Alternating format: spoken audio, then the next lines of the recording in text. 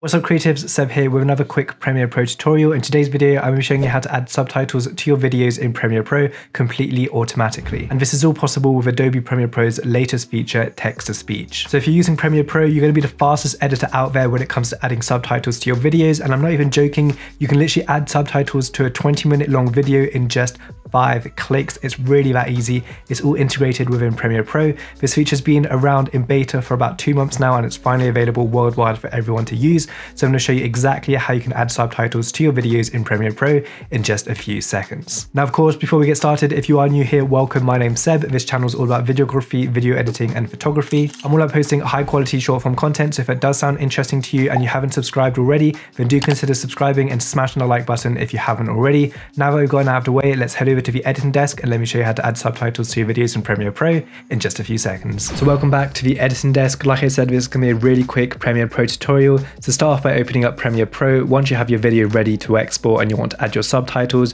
there are two ways you can do this.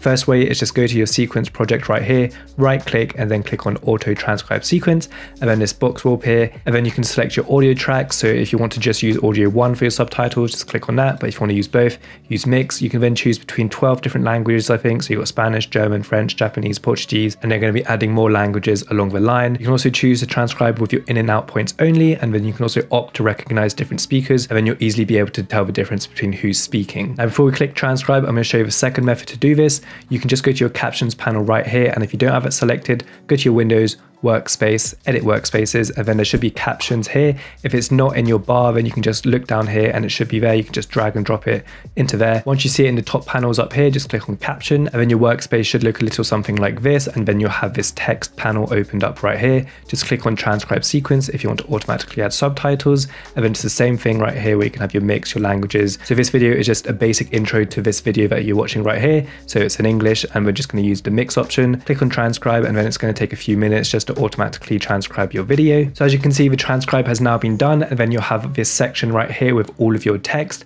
and you can easily edit this if you want to do so if you see any imperfections in your transcription. So right here, I can see one straight away. So it's all possible of Adobe Premiere Pro, that's wrong. So I said it's all possible with Adobe Premiere Pro's latest feature. So just a little modification that I had to do right there. You can then just proofread your entire text, make sure that it's all okay. And then once you're happy with that, you can either export the text as itself, so you can turn that into an article if you wanted to do so.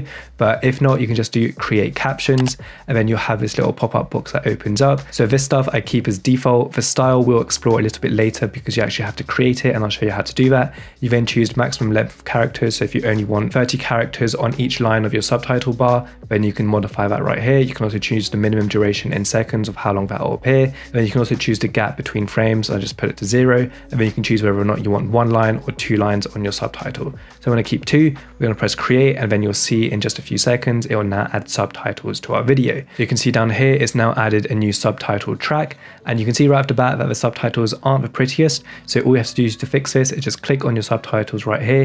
It will open up the essential graphics panel and then you can modify your subtitles further. So if you want to change the font just like that, just change it to impact. We can also make it a little bit bigger. If you want to add a background box, we can also do that. So if to want a black background, I'll do that. Change the opacity to 100.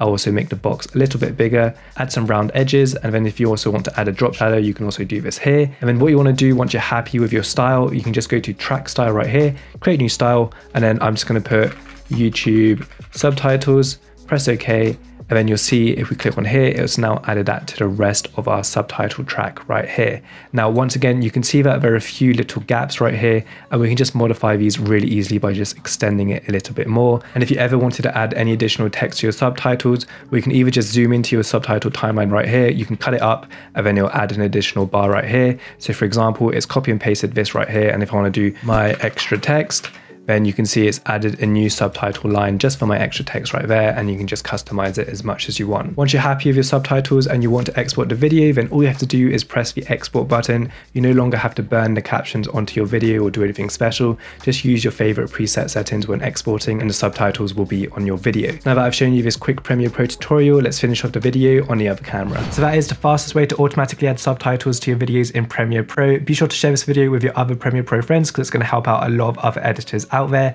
That's all I have for you in this video, so do smash the like button and subscribe if you haven't already. Thanks a lot for watching, and I'll see you in the next video.